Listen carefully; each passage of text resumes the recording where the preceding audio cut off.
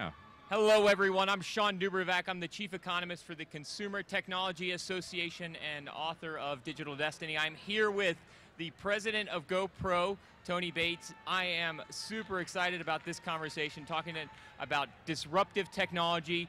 Uh, GoPro is a member of CTA's Disruptive Technology Council.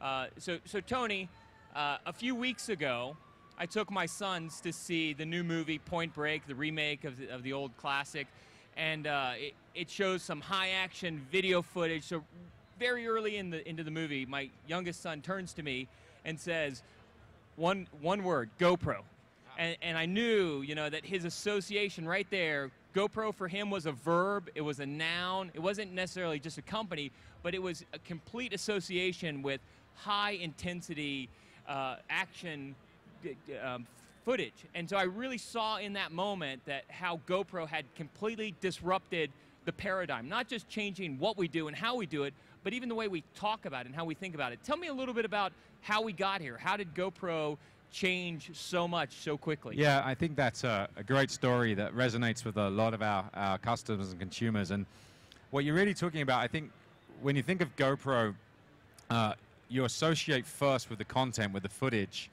Uh, and, and the essence of the GoPro story is very simple that our founder uh, essentially wanted to get great footage of surfing shots. And at the time, it was really around uh, beautiful landscapes. But it, what he realized once he had this waterproof camera that was wearable, if he turned it around, he could get a shot of himself inside the wave. It turned out that had never been done. And when it had been done, it was done later with very, very expensive long lens cameras or guys, you know, um, that are highly trained with, with digital SLRs in the water. And from that essence of that, he realized that actually there's new perspectives, new ways to capture great content. And over, over many years of, of sort of adapting uh, the versatility of the way you can mount the camera and the quality, you see what you see today, which is essentially any use case you can imagine uh, where you want to capture something sort of that, that people don't think had been done before can now be done with the GoPro. And it isn't just about turning it around on yourself, it's about having an ecosystem that allows you essentially to go out and lead a big life if that's what you want to do, whether it's hucking off a cliff or wingsuiting or surfing or just capturing the most magical moments of your life. A very simple example I'll give you just to maybe enter on the point is Perfect. last year we launched um, a mount for a dog. In fact, we launched it just as we were going IPO. And I was on the, on the IPO roadshow, and people said, this thing will never catch off. Well, I, I would, if you go out there, some of the best footage that you've ever seen has been captured from the perspective of people's dogs. Because it's that affinity and that immersive quality that GoPro brings that people love. And you're right, they do associate it with a big life and doing great things. So we're very proud of that. Yes, I, and I think that really is how GoPro has disrupted things, is that they've changed the changed our perspective of uh, how we see the world and how we allow the world to ultimately to see us. Uh, you have other examples uh, of ways that uh, GoPro has been disruptive and changed that perspective? Well, actually, I'll give you a couple of just on the digital imaging side. Um, firstly, GoPro absolutely changed uh, the way that people capture, as you said, and, and the perspective.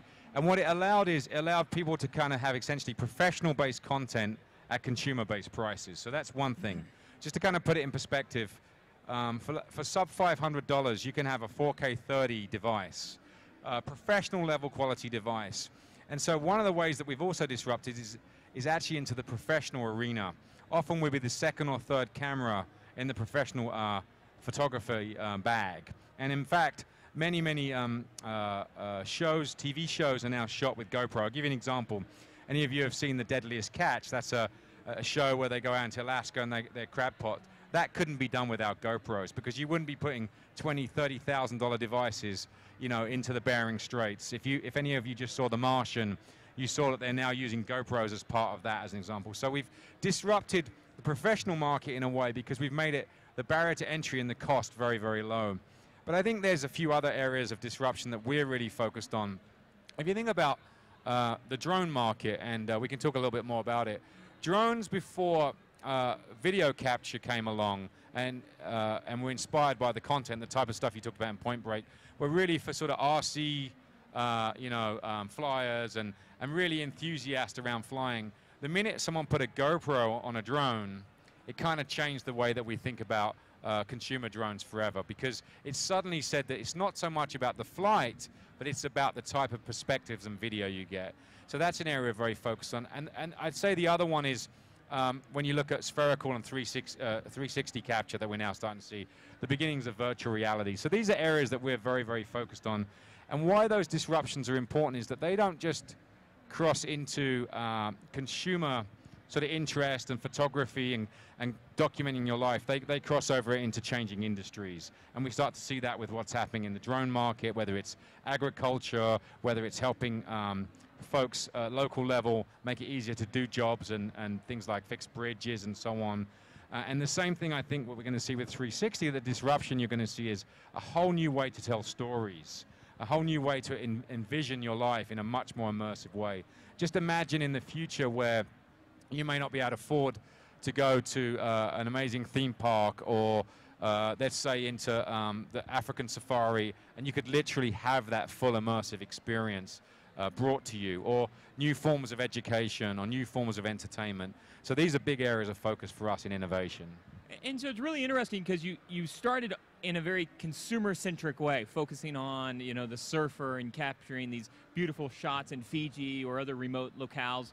Uh, but as you talk about drones, as you talk about virtual reality, these have pretty large commercial applications, whether it's uh, you know checking houses, real estate, whether it's checking bridges and other inspections, or on the virtual reality side. And one of the worlds that I see in the future is as we go to book things like we book a cruise yeah. we'll walk the deck of that cruise we'll go to the pool we'll go to the, uh, the, the, restaurant we'll walk into the different cabins to get a feel for it so there are pretty big commercial applications to this environment too.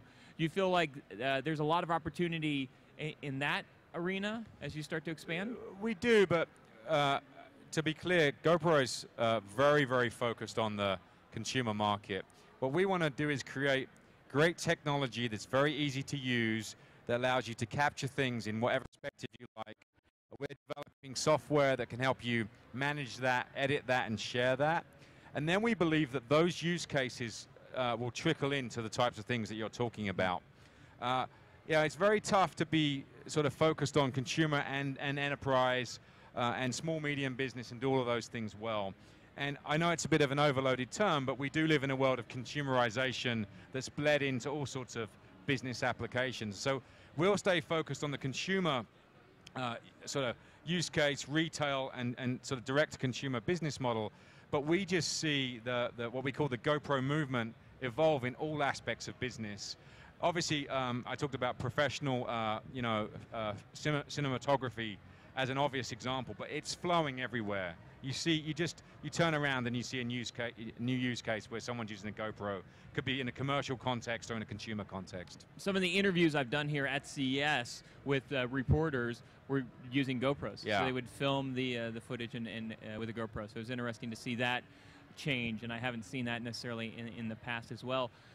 What are other things do you think start to get disrupted? I mean, it sounds like there's a tremendous amount of opportunity in the in these areas. What are the other narratives or points of view that get disrupted? Well, just to come back a little bit to drones, um, and one of the reasons we're so excited about joining the CTA and being part of that is that uh, one of the aspects of drones that I think is, is, is right, and it's maybe a generic theme of disruption in general.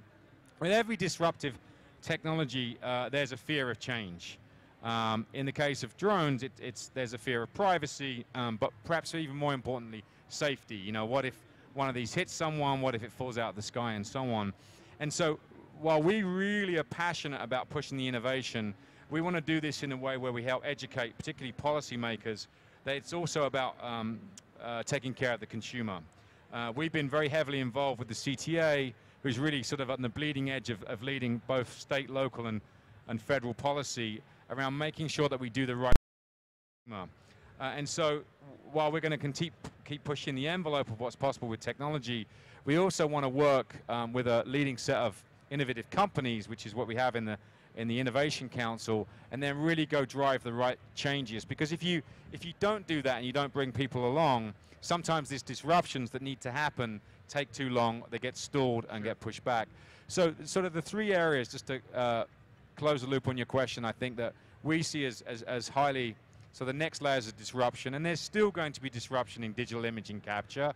Um, one area that still needs a ton of work and we're very focused on is really how do you document your life? How do you make it easier? Because it is a lot of work. It's a lot of work to go out there and capture, but then it's a lot of work to then say, how do I manage the best shot and so on. so we're very focused on uh, a set of software initiatives.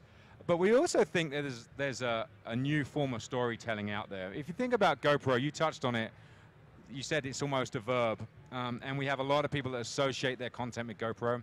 GoPro is really about giving you that wow moment. Um, that's sort of the, probably the best company right now, I would say, in terms of driving quick, exciting, emotional entertainment that's um, sort of short form, unscripted, music overlaid content.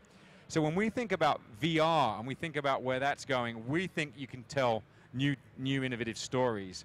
And whilst is that disruptive technology? I would argue yes, because all the pieces you have to bring together to make that possible, so a user can do that, from the capture device through to the software. We made an acquisition of a company called Kolor, which is the leading edge stitching company in terms of bringing multiple cameras together to give you that 360 image really is quite disruptive in telling a whole new form of storytelling. And I think it'll actually change entertainment in the way that we think about it. And we're very focused on that area.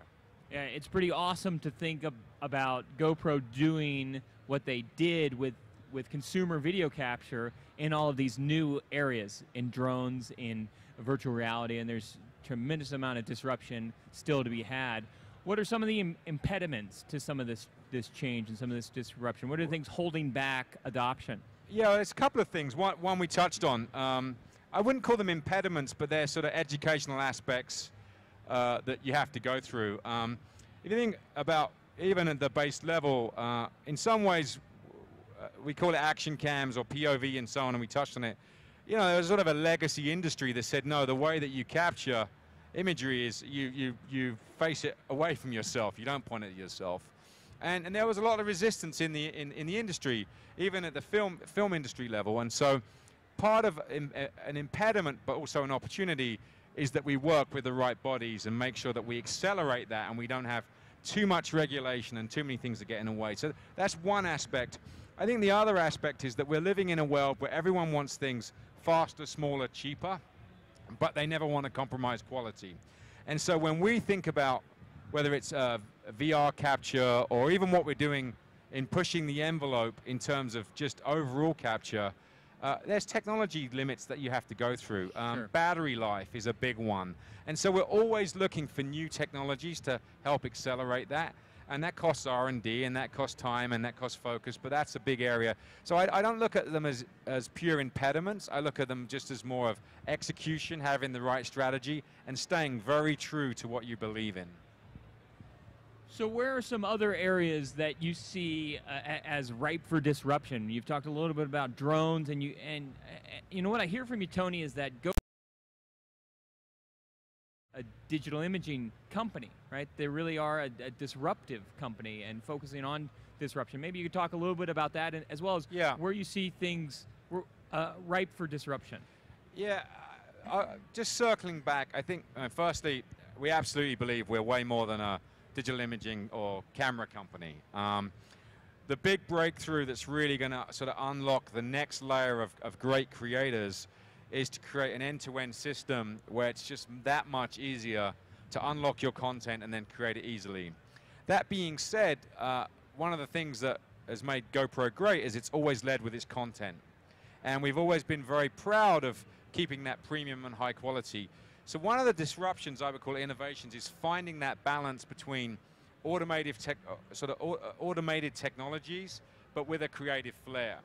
Um, we have this today. We have a piece of software uh, uh, called GoPro Studio, and one of the things that we love is we have these templates. So if you love a piece of content, let's say the Point Break content, and that was a piece of GoPro original production, and your your son loved it so much, and they wanted to make a video exactly like that, we should be able to give you that creative IP you put in your own footage and then you have that feeling. So I would say that's an area that is um, really untapped and unexplored.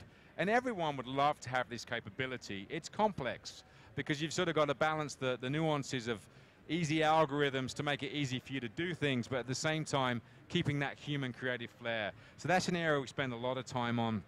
Uh, I'd also say that entertainment experience itself. Um, mm-hmm. We're moving to a world, as many people know, uh, whether you call it cord cutting or cord shaving, where people want snackable, over the top um, experiences. And we have found and, and shown that uh, with GoPro, for example, the GoPro channel, it's the, it's the number one brand channel on YouTube today, or whether it's on Instagram and what we do there and the way that we share content, that people really want to consume these entertainment experiences, uh, but they want to do it in a different uh, way. They want to do it in a way that's more curated and more, uh, I think, they feel more connected to it. Uh, so, you know, the, the old days of sort of linear programming of entertainment are going to change. And we have a lot of thoughts and ideas around that. Um, one of the aspects for us is making sure that we can get enough content. Uh, and so we, we launched a couple of initiatives, one around uh, we have awards, and it, I would encourage everyone here to go look at some of the GoPro awards. If you see what uh, just, you know, not professionals, what people are doing and the type of creativity they have today, it's incredible, highly disruptive. We have a content licensing portal where people can then take that content and put that um, into their own uh, productions. And so what I'm really getting at is sort of one of the themes that we've talked about for a long time has been user-generated content. And people associate their content with GoPro, but I think there's a, a disruption coming where you can get to a professional level uh, of your own content. And so instead of that one thing that most people pay for in their lives, which is their wedding photography, you can pay a little bit of money and you can get ma magical moments that you want to hand down for generations and generations to come. And there's a lot of work we're doing in that area as well. So I know whenever my sons and I want to see footage, whether it's skiing, snowboarding, we always add GoPro to our to our search term, whether it's yeah. YouTube or Google. We're always adding, uh, you know, that that mon that that additional term GoPros to really help drive down into the type of footage that we want to see. Yeah, it's actually an amazing phenomenon. Just to give you some some stats that. Uh, the base premise of, the, of, of GoPro as a strategy is we lead with content. That content inspires you to hopefully go out and, and, and seek and discover what you can do with a GoPro. And then hopefully you go out and purchase a GoPro and you go and do that. And then you share it and then you post it. And what you just talked about is you're talking about the search side. Um, but it's incredible that so many people associate their content every day. Something it's in the order of tens and tens of thousands of uploads a day, whether it's YouTube, Facebook, and so on, where people will say this is my GoPro vacation or my GoPro, you know, first day at school with my with my you know my uh, first grader or my GoPro uh, Hawaii adventure. And so what's happened here is that people have become have created an affinity with the type of content that we produce, and they want to be associated with it and we keep driving that. Now, what's important for GoPro is when we produce content, we keep it of very high quality, uh, and you become inspired. I mean, there's so many great uh, pieces of content out there um, that we all love. Right now, uh, you know, I would say the Danny MacAskill uh, shot of uh, that he was in the Canary Islands. I'd encourage you to do it. It's gone over 10, 10 million views already, and it's going super viral. And that is just something that we're going to continue to focus heavily on. It's very exciting to see you paint the future of an environment where it's not just capturing the video footage, but it's also being able to do some, uh, essentially some of the post-processing and, and, being able to create a more professional experience from that video that you that you've caught. Yeah, we, we think about um, the world in in really a, a, very distinct set of pillars. Capture is a big part of it, and we we absolutely have created an ecosystem of of versatility so that you can lead the life you want to, and it doesn't feel like that camera is in the way of, of your experience. But as I mentioned, uh, manage, edit, and share are just as important. Because we know that when people share that content, that drives other people to be inspired, and by being inspired, they go out and lead bigger lives, which is really the underlying premise of what GoPro is about. But we know we also have to keep making that easier. Uh, we always look at new technologies, um, but we're also investing very heavily in that area because I think that's the next great area that everyone wants. Everyone wants their lives to be easier. They want to be more on the go, whether it's taking that quick shot and posting it to their favorite social network, or whether it's taking a little bit of time to curate and edit something that they're proud of, that they can, um, you know, turn into a longer form piece of entertainment. So, anything you would add here as we as we uh, finish our interview? Any last thoughts on the future of GoPro or the future of disruption? You know, maybe just starting at the top level disruption is very important. Uh, very important, uh, not just from a technology point of view, but what it can do to economies. And I know you, you focus a lot on this, and now it, it, it's cha fundamentally changing people's lives. I think in GoPro we have a very, very focused strategy around continuing to advance the forms of capture, making that software experience much easier, and transforming entertainment. Um, you know, and we will focus heavily on things like virtual reality and and um, residential uh, drones and so on. Uh, but I think what's a bigger story uh, when you sort of take away from GoPro and disruption is that fundamentally we can help change the way that people document their lives.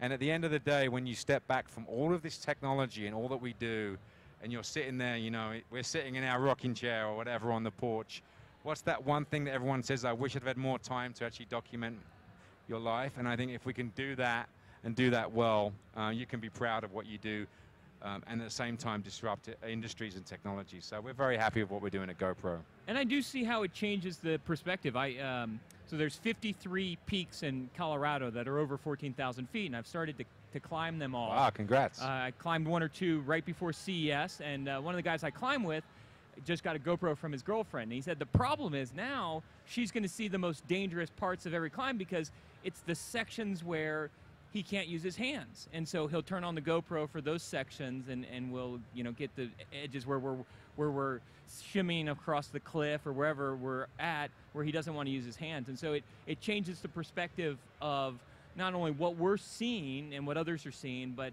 the entire dynamic of that, you know, that adventure. Yeah, I think uh, you hit right on the, sort of hit it on the head, which is, you know, at, at the, the base level, um, you know, video data is something that humans can process, but if you can make that become something that has an emotional, visceral, immersive connection, it can cross over into many, many other parts of your life. And GoPro has really done that in a way that I think is uh, not underestimated by us, but maybe by the broader industry at this moment. And we're going to continue to, to make sure that's a big part of our story. Talking to Tony Bates at GoPro makes me feel inspired, makes me want to go out and yeah. What are you going to go do, do, now? Yeah, do something new and adventurous. And it, it really to to talk to you, Tony, and to see all of the areas that GoPro is has disrupted, is disrupting, will disrupt.